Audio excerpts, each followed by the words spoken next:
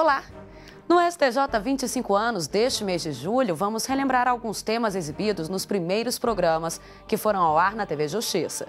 Em agosto, voltamos com mais novidades sobre o Tribunal da Cidadania. Você acompanha agora como foi a nossa estreia em abril. Uma entrevista especial com a ministra Eliana Calmon. O STJ 25 anos começa agora.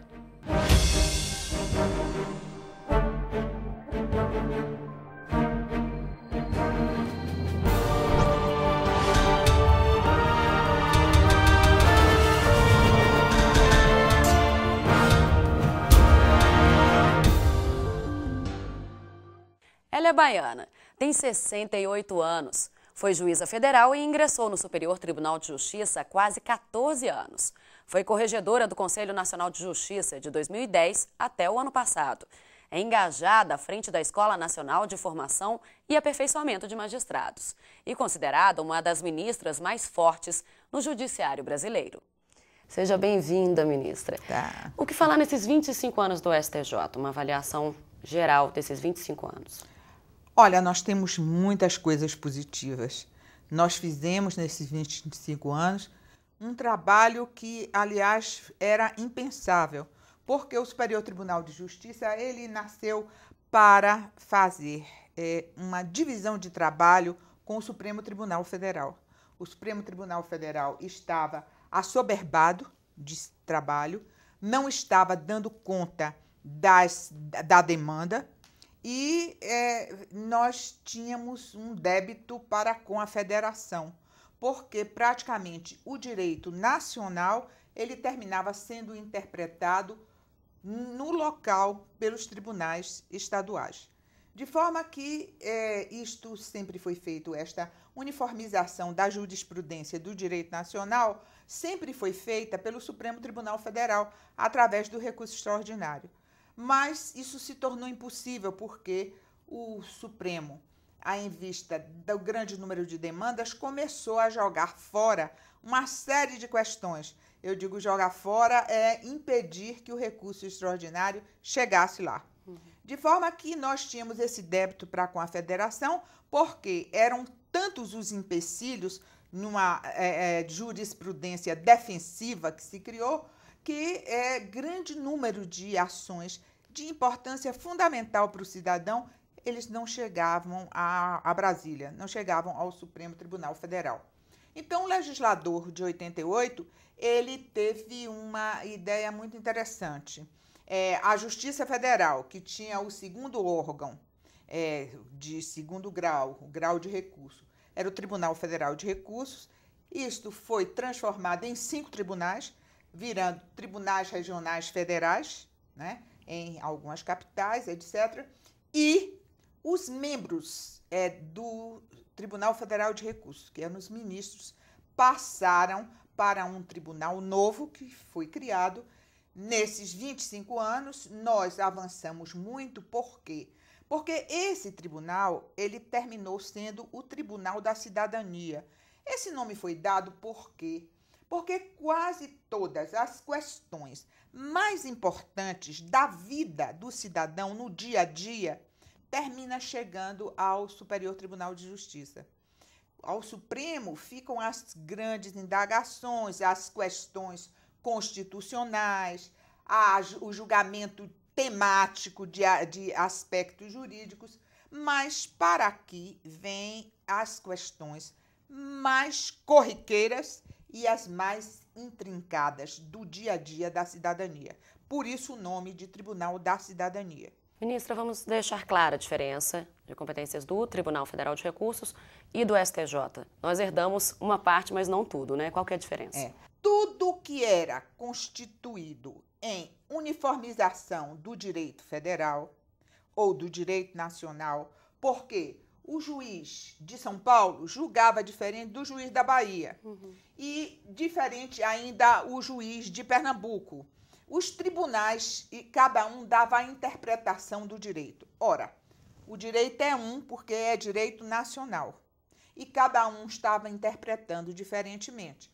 Então, sempre o Supremo Tribunal Federal teve a competência de examinar estas teses jurídicas interpretadas pelos tribunais é, de Justiça e os tribunal, o Tribunal Federal de Recursos e fazer a sua interpretação da legislação, dar a última palavra à interpretação do direito. Com a Constituição de 88 e criado o Superior Tribunal de Justiça, o Supremo começou a dividir competência com o STJ para dizer o seguinte: tudo que disser respeito à interpretação da norma constitucional, como é que eu interpreto os princípios constitucionais, as normas constitucionais, Supremo Tribunal Federal. E tudo que disser respeito à interpretação do direito infraconstitucional passa a ser examinado pelo Superior Tribunal de Justiça. Essa é a grande diferença. Na época da Assembleia Constituinte, a senhora já era juíza. Sim. Eu, como é, eu era juíza de primeiro grau, estava como juíza federal na Bahia e acompanhei o trabalho da Constituinte, né, preocupada com o perfil que ia sendo dado ao, ao Poder Judiciário e muito feliz porque a Constituição de 88 ela valorizou muito o Poder Judiciário. O Poder Judiciário saiu das amarras que tinha do passado, onde ele, os juízes eram praticamente a boca do legislador, para ser uma, um poder. Né? O Poder Judiciário ele começa a ser delineado como poder em pé de igualdade, pelo menos estruturalmente, com os demais a partir da Constituição de 88. Ministra, a gente vai para um intervalo rapidinho e não saia daí. Nossa entrevista continua no próximo bloco.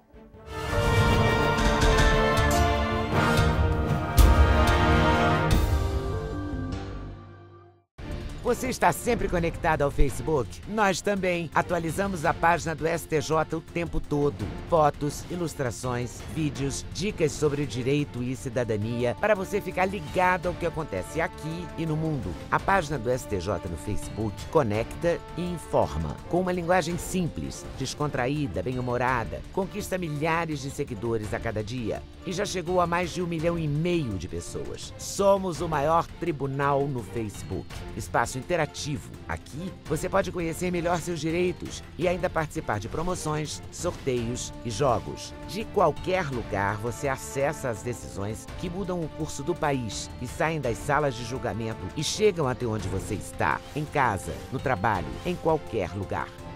Acesse facebook.com barra STJ Notícias. Superior Tribunal de Justiça, o Tribunal da Cidadania.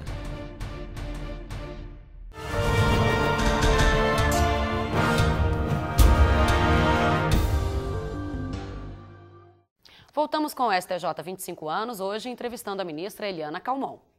A senhora chegou aqui em 99, né? Como é que foi essa chegada e por que ser uma ministra? Como é que eu me tornei ministra? Eu acho até, às vezes, eu fico pensando que foi, assim, quase um milagre, porque é, eu digo muito sinceramente que, em razão da posição da mulher, ela tem uma certa dificuldade. E é, no Superior Tribunal de Justiça, até 99, não havia nenhuma juíza. Nunca eles tinham sequer votado, entrado na lista, uma mulher. Então, é, se falava de clube do Bolinha e que não era, é, eles não queriam mulheres e etc. Até quando eu me candidatei a uma vaga, é, alguns colegas criticaram muito. E por que essa crítica? Porque eu sempre fui uma mulher falastrona, eu falo. Eu falo o que penso, eu sou, eu tenho um espírito crítico institucional muito grande. Então eu faço críticas à instituição, às vezes críticas severas. E nós sabemos que dentro de uma cultura machista, de um poder que ainda é masculino, a primeira mulher que chega não é uma mulher que esteja com ariete na mão. É muitas vezes uma mulher que não vai causar problemas. É uma mulher é, assim, mais meiga, mais acessível, que faça o jogo do poder masculino. E é, eu não esperava que eu tivesse um perfil é, adequado a quebrar essa, é, é, é esse tabu. Mas, de qualquer forma, eu acho que nós mulheres temos de acreditar na nossa força. E eu me candidatei. Eu acho muito interessante, sempre estou contando isso porque um colega meu de turma, e até que me quer muito bem, ele disse para mim: Eu soube que você é candidata a uma vaga no STJ. Eu disse perfeitamente. Alguma coisa contra? Ele disse: Não, nada contra, porque para Deus nada é impossível. Então era tão difícil que precisava ser um milagre de Deus. Mas é, eu fiz um trabalho bom, eu sempre fui muito determinada e muito ativa, né? Me jogo de corpo e alma no que eu faço, de forma que profissionalmente eu tinha um bom conceito. E eu acho que o STJ já estava maduro para receber uma mulher. Tanto que uma vez um ministro conversando comigo, um ministro do Superior Tribunal de Justiça conversando comigo, ele disse assim, eu posso até dizer o nome dele, porque ele está vivo e sabe da conversa que nós tivemos. É o ministro José de Jesus. O ministro José de Jesus disse assim: Nós estamos esperando a sua candidatura. E aí eu disse, ministro, será que o tribunal é, a, a, aceita uma mulher com o meu perfil? E ele disse: se aceita ou não, eu não sei. Eu só sei que ele precisa de uma mulher com o seu perfil. Então, isso me incentivou tanto pelo perfil quanto pelo trabalho, a senhora tem uma popularidade grande, né? É, porque, na realidade, é, eu termino deixando o Poder Judiciário conhecido. Por que, que eu, eu, eu falo? É, eu falo no. Porque eu acho importante exatamente isso. O Poder Judiciário se tornar é, conhecido da população, ele ter uma aproximação maior com os seus jurisdicionados e até saber dos, é, dos problemas existentes no interior do Poder Judiciário. Porque eles são o destinatário do Poder Judiciário. O Poder Judiciário não vive para os seus juízes, vive para os jurisdicionados. Então, essa transparência é uma coisa importante. Como eu adoto isto e pratico, né? porque muitas vezes é, transparência é só discurso. Faz o discurso, mas não age de, de uma forma transparente. Eu quebrei um pouco a cultura, um pouco não, eu quebrei foi muito, né? Eu digo pouco, modo de dizer, mas eu quebrei foi muito. A cultura de nós não falarmos, porque a ideia é o seguinte, não, se nós falarmos, nós deixamos as entranhas do Poder Judiciário à mostra. E isso faz com que o Poder Judiciário se desmoralize. Eu não penso assim. Eu penso que hoje, na atualidade, e eu sempre estou dizendo o seguinte: a palavra de ordem no século XXI é o que? Transparência. Essa é a palavra de ordem. Ministra, alguém na rua mesmo, a população já chegou para falar alguma coisa, ou um agradecimento, tirar dúvida. Teve até um caso de, de taxistas, né? Que Exatamente. tiveram uma atitude bem legal. Conta um pouquinho para gente. No início eu fiquei um pouco assustada, porque realmente as pessoas reconhecem no aeroporto, dentro do avião. Logo no início, um dia eu entrei no avião e, a, e as pessoas bateram palma. Eu fiquei, assim, muito envergonhada com aquilo, porque eu não estou acostumada a isso. Mas emocionada também?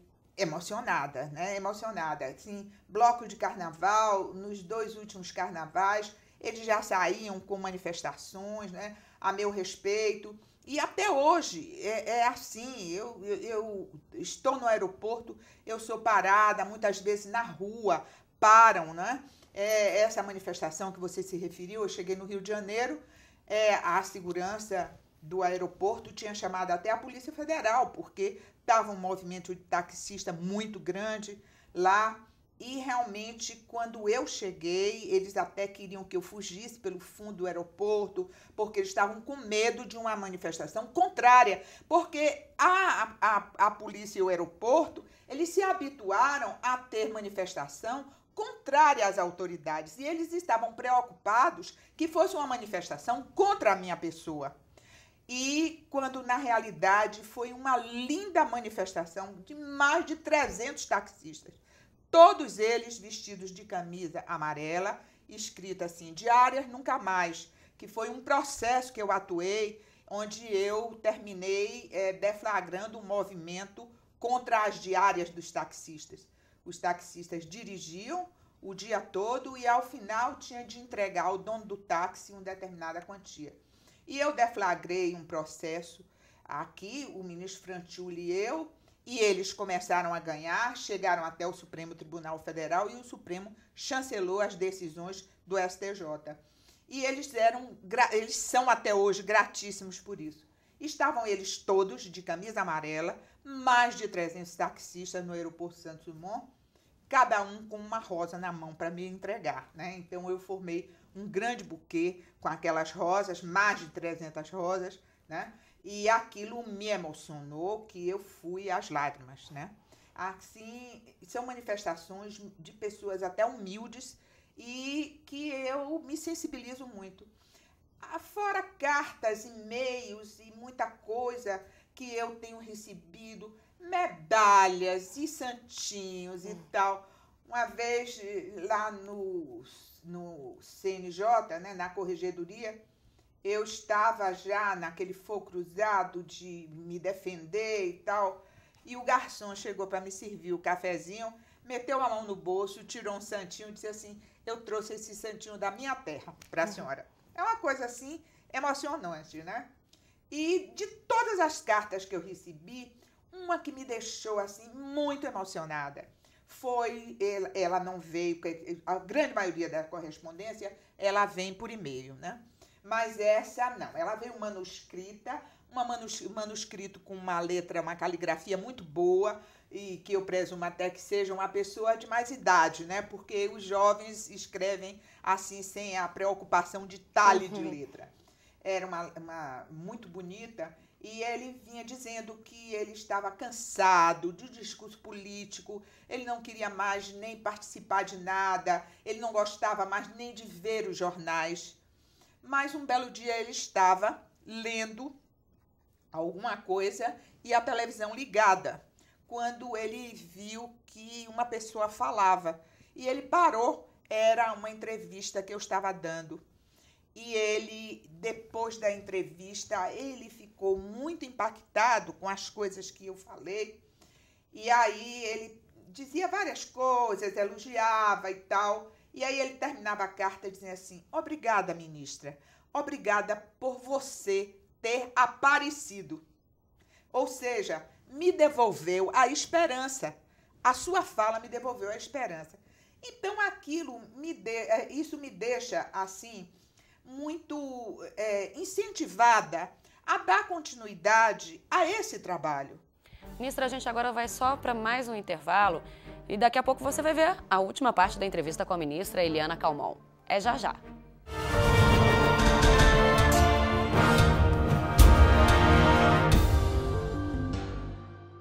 Curtir, compartilhar, repercutir Postar novas conexões que ligam pessoas em qualquer lugar do mundo. Cada vez mais conectado, o Brasil é o quarto país em número de usuários das redes sociais.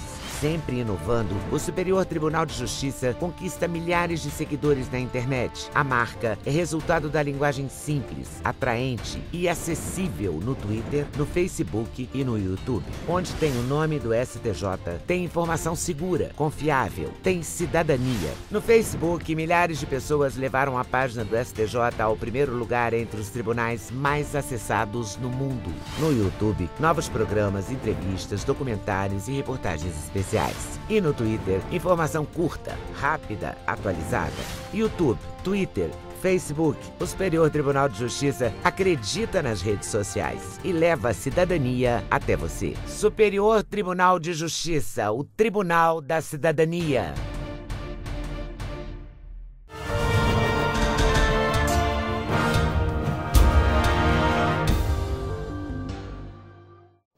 E agora você vai ver a última parte da entrevista com a ministra Eliana Calmon. Ministra, tem alguma decisão que a senhora, para a senhora ficou marcada aqui no STJ? Ficou como histórica? Como juiz, eu tenho algumas decisões. No STJ, eu, eu não sei, assim de pronto, foram assim algumas decisões é que eu tenho assim tomado e que no momento me causa assim algum impacto. Agora, no momento eu não me lembro. Pode ser. Agora, eu geral. tenho uma do Tribunal, Federal, do Tribunal Regional Federal que eh, me deixou muito emocionada, né? Eu, quando cheguei, eu tinha chegado há pouco tempo no tribunal e veio até do Tribunal Federal de Recursos um processo criminal grande e era um problema de os traficantes é um traficante americano, inclusive ele já estava preso porque ele, ele concentrava em três estados brasileiros a droga que vinha da Bolívia. E nesses três estados, cada um ele tinha uma estratégia de mandar a droga para o exterior.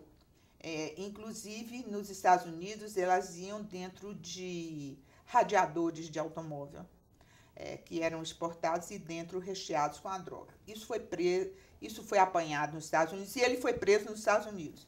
Mas deixou a quadrilha aqui. E na quadrilha tinham os grandões, que estavam já todos quase liberados, e ficou a raia miúda no, na penitenciária. Vários que estavam cumprindo pena. E é, como é, é essa linha de motorista, vigilante, etc., atuava em um ponto, no outro, no outro, nos três estados, o que é que aconteceu? Eles começaram a ser condenados duas, três vezes. Então, este homem a que eu vou me referir, ele já estava cumprindo pena em Mato Grosso e já estava respondendo a outro processo. E ele dizia que era o mesmo crime, não era a mesma que, que não era outra coisa, é porque na linha do crime uma é, é, é eles vinham pegando a droga e passando para diversos estados e ninguém dava aso a ele. E é, a quadrilha foi desfeita, os maiorais saíram e ficou aquele homem lá na penitenciária. Quando é um dia eu recebo, né, uma, eu estava já com aquele processo que chegou para mim e eu recebo uma carta. Essa carta ele dizia que aquilo ali era um pedido de socorro.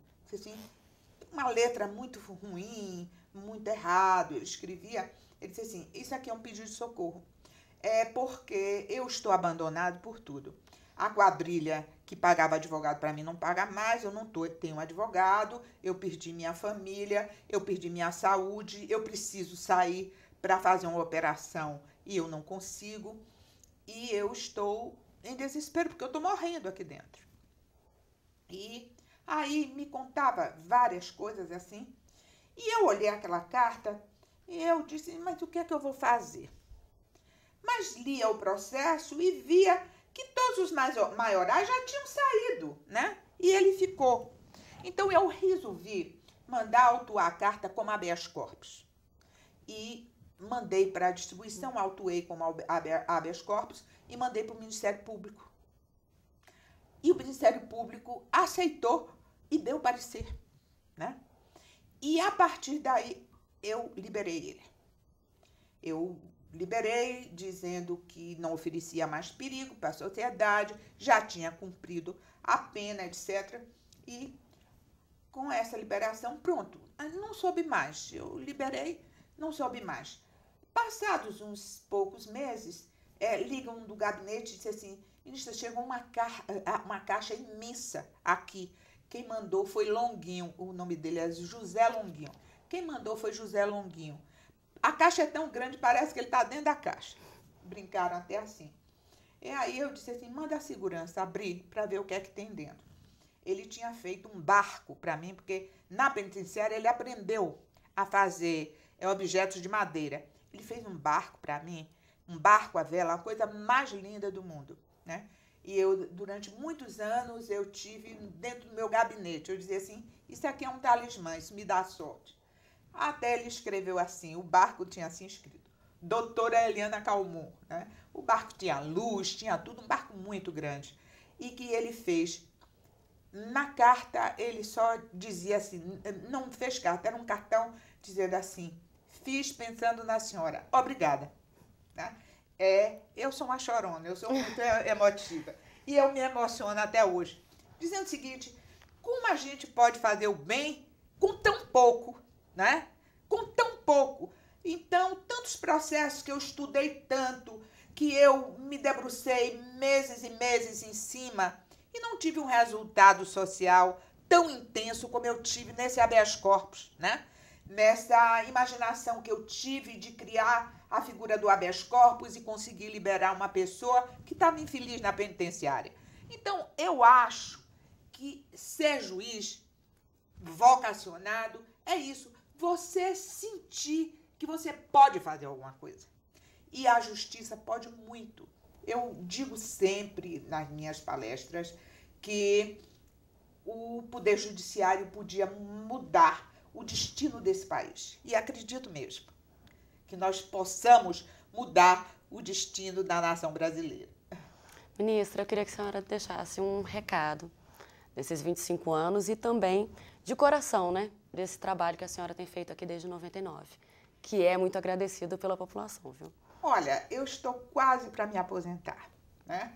Eu tenho 68 anos e estou daqui a um ano e meio eu estou fora do Superior Tribunal de Justiça.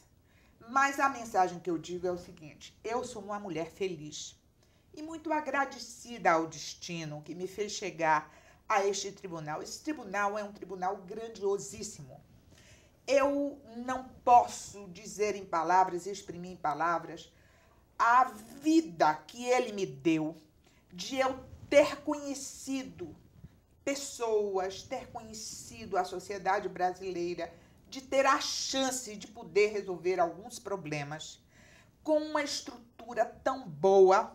E eu digo o seguinte: às vezes eu tenho até remorso de tudo que eu tenho no Superior Tribunal de Justiça. De forma que a mensagem que eu quero dizer é o seguinte: este é realmente um tribunal de cidadania. Mas esta cidadania depende muito do que nós, magistrados, façamos dentro do tribunal. Mas eu tenho colegas que fazem acontecer, colegas que eu tenho uma admiração profunda, não como magistrados tão somente, mas como cidadãos brasileiros. Essa é a mensagem. Muito obrigada pela entrevista, ministro, e também pelo seu trabalho aqui com a gente, viu? Nós ficamos por aqui. No próximo programa, você vai conhecer a história do STJ, como o Superior Tribunal de Justiça foi formado, como funciona e quem são as pessoas que fizeram e fazem o STJ ser o Tribunal da Cidadania. Até semana que vem.